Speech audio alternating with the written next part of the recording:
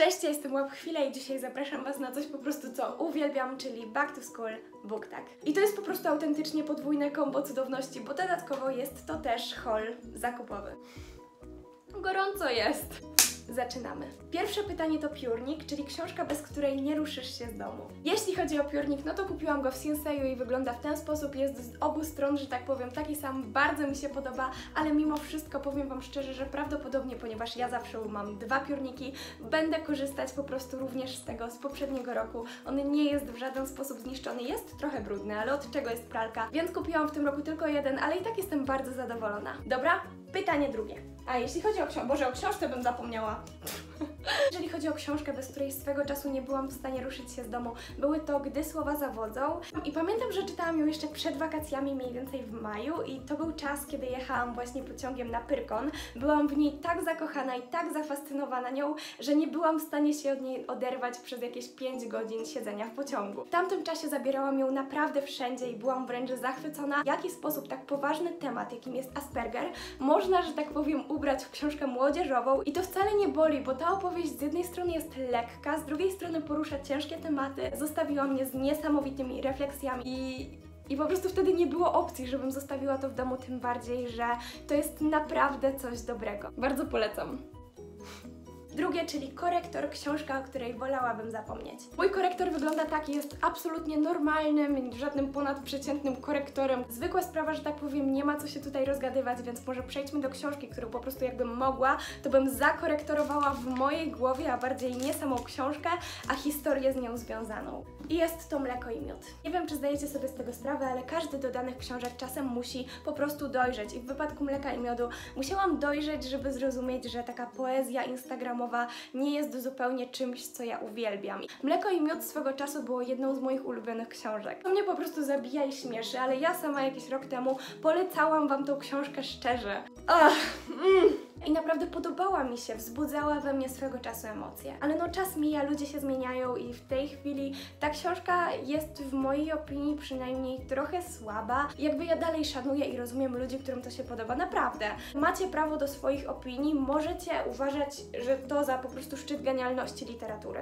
Ale ja najchętniej ten epizod mojej historii wymazałabym i tak naprawdę grubą warstwą korektora. Chociaż z drugiej strony to też w pewien sposób mnie ukształtowało, no bo wiadomo, wszystkie lepsze i gorsze wspomnienia czy też historie w pewien sposób mają wpływ na nas teraz, e, ale no gdybym miała taką możliwość z tym korektorem, to bym to zrobiła. Żeby jednak nie zajść zbyt daleko narzekając na samą siebie, to przejdźmy do następnego pytania, którym jest Zeszyty, czyli najładniejsza książka na mojej półce.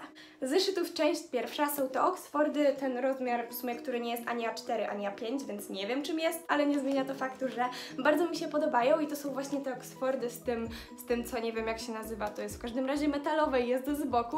Do tej pory nie miałam ani razu takich zeszytów. Zobaczymy jak wyjdzie już w trakcie roku szkolnego. Jak widzicie ich jest cztery, no i one będą do przedmiotów takich trochę mniejszych typu fizyka, biologia, a do takich głównych, że tak powiem, typu matematyka, gdzie po prostu jestem w stanie mieć naprawdę jeden zeszyt miesięcznie, no to mam już większe formaty, no bo tutaj, że tak powiem, dosyć dużo piszemy. Oxfordy mają to do siebie, coś co ja po prostu uwielbiam i kocham i zawsze jak je kupuję, to robię jedną rzecz, czyli niesamowicie miękki i po prostu niesamowity papier. Po prostu uwielbiam to robić. Skoro powiedzieliśmy już o zeszytach, to wypadałoby zabrać się też za drugą część pytania, a odpowiedzią jest oczywiście Kirka i powiem Wam szczerze, że to jest coś, co ja, że tak powiem, upolowałam zaledwie 5 czy tam 6 dni temu, więc jeszcze nie wiem, czy treść zgadza się, że tak powiem, z tą piękną okładką i również mnie zachwyci, ale zobaczcie, jakie to jest piękne. Więc proszę, niech to będzie coś dobrego. Karteczki samoprzylepne, czyli książka, bez której nie możesz żyć. Jak sama rok temu tworzyłam ten tag, absolutnie nie wyobrażałam sobie życia bez karteczek samoprzylepnych. Po prostu uwielbiałam je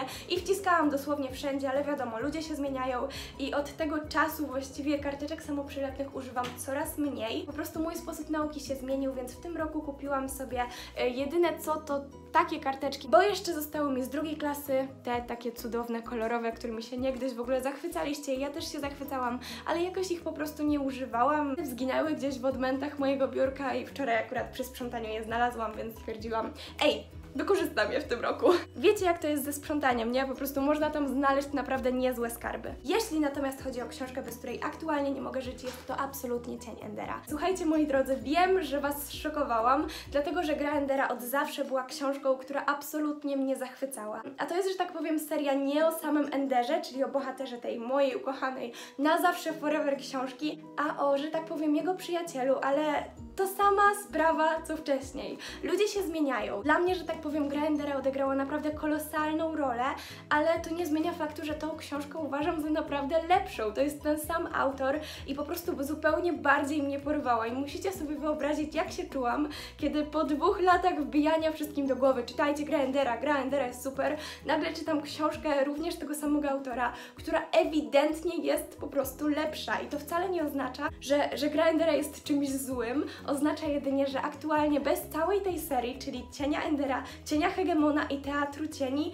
nie wyobrażam sobie stworzenia mojej osoby w ten sam sposób. Ale dalej uważam, że powinniście czytać grę Endera, dlatego że za tą książkę można zabrać się dopiero, kiedy skończy się tą pierwszą, że tak powiem, sztandarową część i dalej z całego serca mogę Wam to polecić. Ale dobra, nie rozgaduję się, bo wiem, że Was pewnie to nie obchodzi. No i co? Ekierka, czyli coś, co złamało Ci serce. W tym roku mam również tego typu zestaw. Jeżeli chodzi o książkę, książka jest to oczywiście Adam i pełną recenzję tego cuda macie oczywiście na moim kanale. No to mnie dosyć mocno złamało, ale w dobrym tego słowa sensie i ta książka naprawdę bardzo mocno uczy, pokazuje niesamowite wartości i zapewniam Was, że jeżeli to przeczytacie, nie będziecie żałować. No ale niestety skończyłam z kacem książkowym i złamanym serduszkiem, co nie zmienia faktu, że cudo, czytajcie to. Plan lekcji, czyli coś, co planujesz od dawna. Ogólnie mam w pokoju ścianę magnetyczną, więc mam taki, że tak powiem, notesik z magnesem, żebym mogła sobie tutaj jakby robić takie typowe to-do list, czyli rzeczy po prostu do zrobienia. Można to nazwać swego rodzaju planem. Oprócz tego zostało mi jeszcze to cudo, no i jest tutaj oczywiście rozpisane każdy dzień tygodnia. Bardzo lubię ten plan i zwykle się go trzymam, co jak na mnie jest, że tak powiem, dosyć dziwną rzeczą, bo ja nigdy nie lubiłam planów,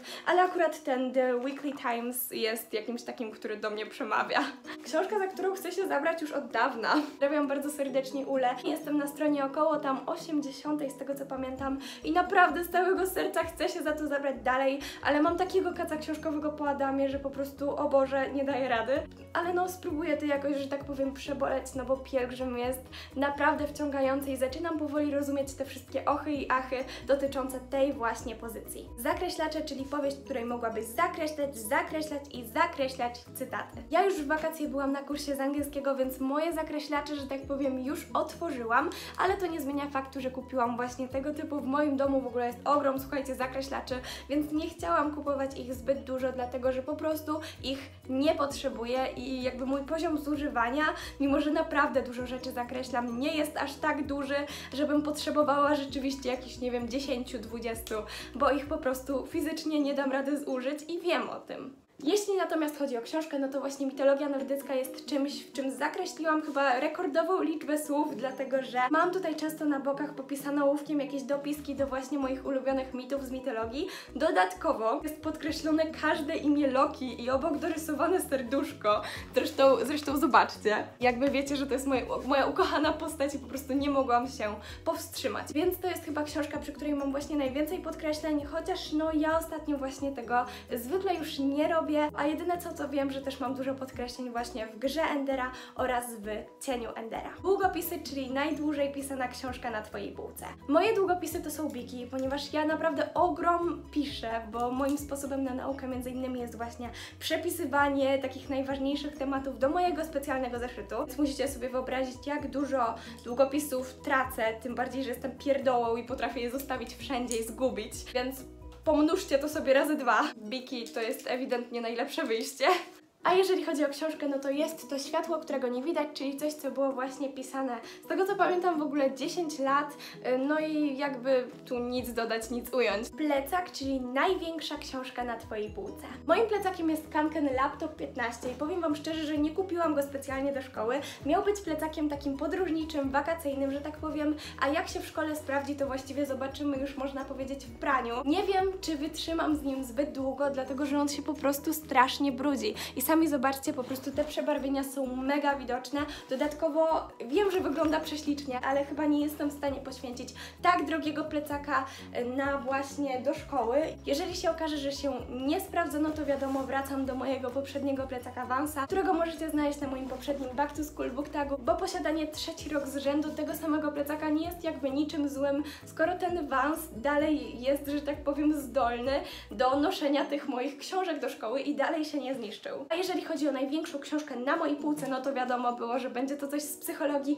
Jest to oczywiście psychologia i życie, coś co miałam w moim TBR-ze przeczytać ogólnie w wakacje. Przepraszam, prawdopodobnie mi to nie wyjdzie, bo jest to prawdziwa cegła. Więc dziękuję Wam za obejrzenie. Mam nadzieję, że tego typu odcinek Wam się spodobał. Zachęcam oczywiście do subskrypcji mojego kanału, wpadania w te wszystkie linki na dole, na Instagrama, gdzie jestem ostatnio po prostu na maksa aktywna i gdzie po prostu wszystkie te live'y i cała ta nasza wspólna, że tak powiem, społeczność dalej się tworzy. Ale dobra, ja już nie przedłużam. No i dzięki. Pa! Do następnego!